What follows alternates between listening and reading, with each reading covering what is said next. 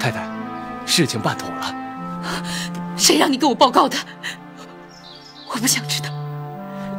您不想知道沈老板？我不要听，不要听！你不要告诉我。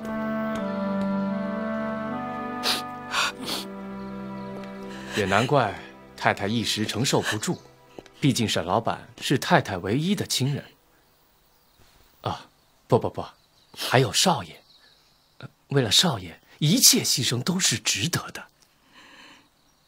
太太的心情，我能够理解。今天这个结果，是沈老板自找的，谁叫他跟太太您作对啊？人不为己，天诛地灭。啊够了，我知道了，你下去吧。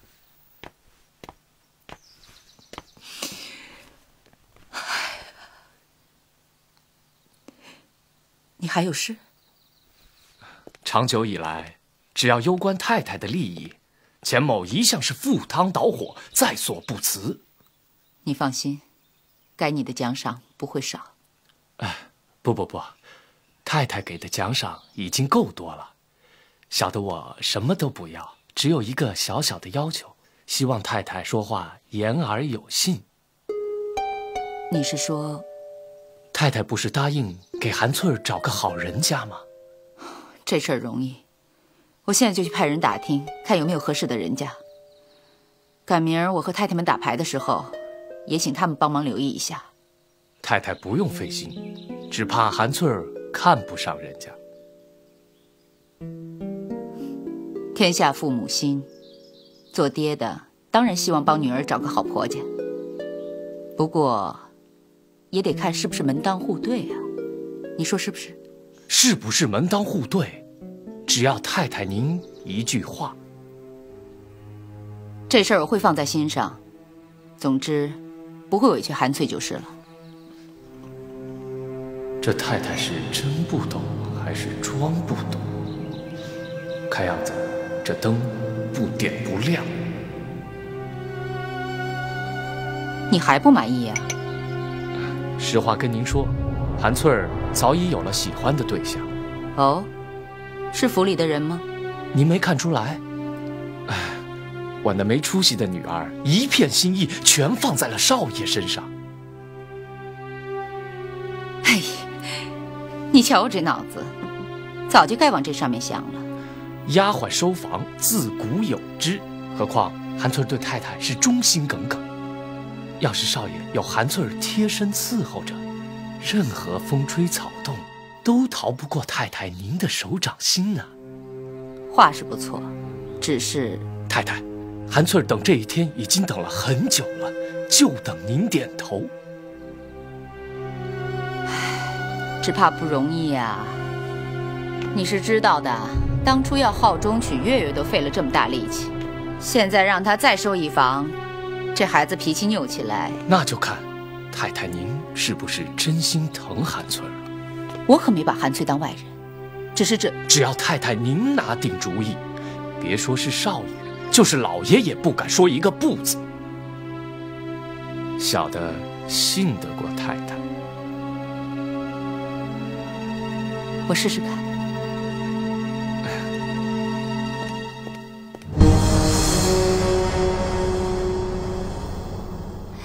爹，您不是在逗我开心吧？这么大的事儿，没个谱，我敢说吗？哎呀，爹，您真好，真好！你看你，你也不害臊。行了行了，准备准备，准备做新娘子吧。哎呀，可是少爷他会答应吗？不答应也得答应。您就这么肯定？当然，因为太太不敢不答应，他就一定会想法子让他儿子答应。哦，我懂了，您为太太立下了不少汗马功劳，他不得不买您的账。换句话说，太太有不少的把柄捏在我手上，我随便抖落出去一件，就让他吃不了兜着走，他敢不答应吗？爹，您真高明。陆家酒庄的管事，没个三两三，端得起这碗饭吗？怎么样？收房的事儿，爹让你稍安勿躁，怎么样，兑现了吧？嗯，谢谢爹。哎呀，真希望这一天快点到来，这样我就不用被人使唤来使唤去的，也换我使唤别人了。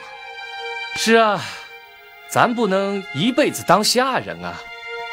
这回啊，我得要翘起二郎腿，等着做陆家酒庄少东家的老泰山了。云儿已经失望透顶了，劝他纳小，应该不是问题。怕只怕月月生了念祖，变本加厉，简直不可一世，成了家里的太上皇了。不把他搞定，绝对受不了房。可这大户人家三妻四妾多的是，何况陆家人丁单薄，他凭什么不答应？孙少爷，小念祖，孙少爷，好乖啊，真可爱，真乖。太太，浩中不在啊，一大早就催他上宫了。这会儿要是他还在屋里，这媳妇的罪过可就大了，我可担不起呀。小菊啊，把念祖抱出去玩玩。嗯。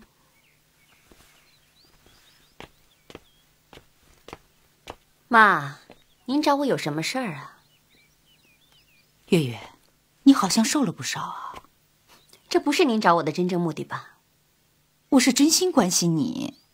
你看看，你又要带孩子，又要照顾浩中，挺辛苦的，真是难为了你这个千金大小姐。你有什么话就直说吧，我可没有兴趣跟你打哑谜。这事儿说起来呀，跟我也有关系。只怪我肚子不争气，只生了浩中一个儿子，以至于陆家人丁单薄，真是愧对祖先呐。我们老一辈呢，总是希望多子多孙，多子是不可能了，只有指望多孙了。那我也只有一个肚子啊，要生也得慢慢来呀。就是啊，一个肚子哪生得过来啊？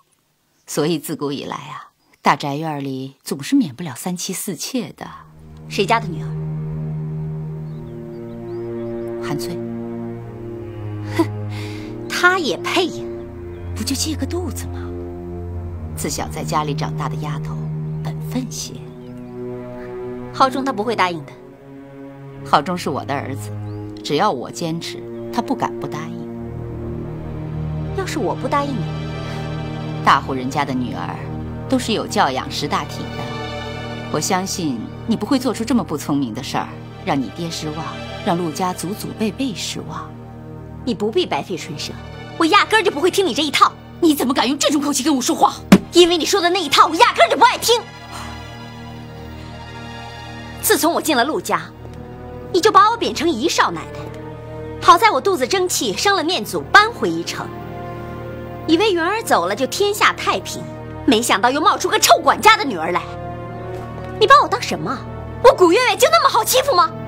我说你一句，你顶我十句啊！别以为你是古爷的女儿，我就拿你没辙。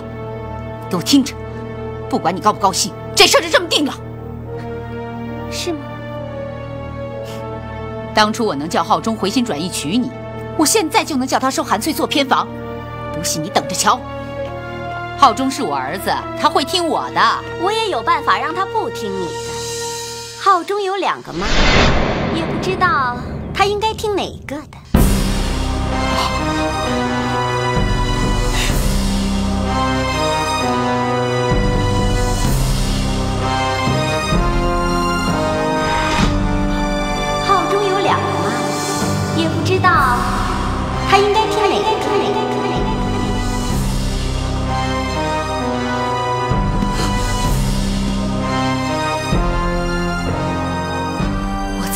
掖着二十几年的秘密是怎么泄露出去的？这个古月月，她是怎么知道的？她是怎么知道的？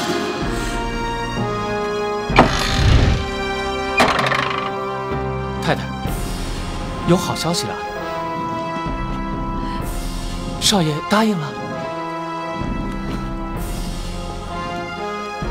少爷收房的事儿，他怎么说？啊，这事儿我还没来得及跟浩中提呢。不过光老爷那关就过不了。啊？这事儿就到此为止。你放心，我会给韩翠找个好人家的。哼，韩翠高兴的昨天一个晚上都没睡着。太太，你不是在搪塞我吧？我搪塞你？我还问你呢。月月为什么知道浩中还有一个妈？你怎么知道的？月月亲口说的。知道了又能怎么样？反正死无对证，有什么了不起的？月月是个厉害角色，不容易打发。他要是敢对太太您不利，我就你就怎么样，把他给杀了。说来说去都怪你，每次办事都拖泥带水，害得我越陷越深。你说这话，对钱某不公平。哪一次我不是按照你的命令行动？哪一次我不是鞠躬尽瘁、尽心尽力？到头来我还遭到这么多埋怨，我也太不值了。如果一开始你就处理得干净利落，怎么会一而再的牵扯出这么多事来？你问我，我问谁啊？我怎么知道啊？你，你可以对我不满意，可没有我，你今天能坐稳陆夫人的位置吗？你千不该万不该让月月知道浩中的身世，这以后我不是让他牵着鼻子走吗？我敢发誓，我要是漏出去一个字，我不得好死。可这事只有你知我知，月月怎么知道的？别忘了，这事儿还有沈老板知道。哼，不会是沈老板托梦给少奶奶的时候说的吧？你闭嘴，不要再说了。好，我不说了。我再问太太最后一句：韩翠收房。到底还有没有希望？不可能！谢谢太太直言，小的我明白了。哎，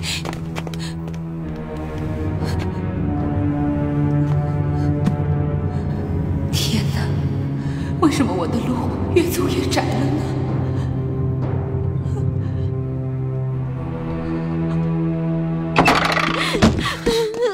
别哭了，别哭了，我这心都让你给哭乱了。都怪你，都怪你！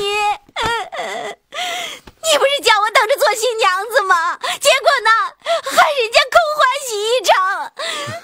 这事儿能怪我吗？就怪你！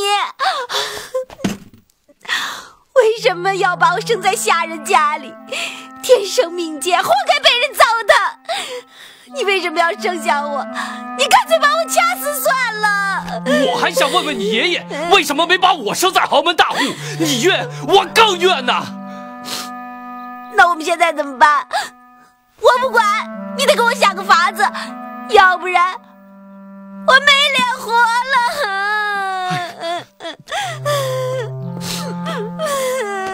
我已经厚着老脸皮跟太太闹翻了，你还要我怎么办呢？你手里不是有太太的把柄吗？怎么一点都不管用啊？管个屁用！时过境迁，无凭无据的。他翻脸无情，我也只好摸摸鼻子认了。可我不甘心，我不甘心呐！太太怎么可以这样对你呢？原以为太太是个念旧的人，没想到。他也是个忘恩负义的家伙，我我心寒呐！我算是看透了，这一辈子做牛做马，我没求过他，就这么一回，就这么一回呀！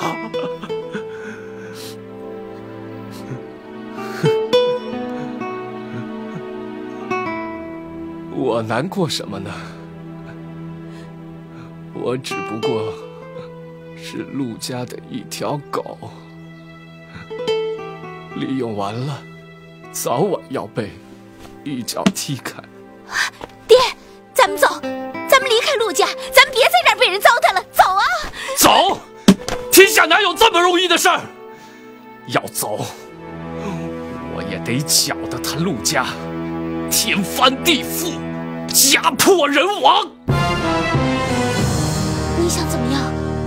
好，太太，你是敬酒不吃吃罚酒，就别怪我心狠手辣。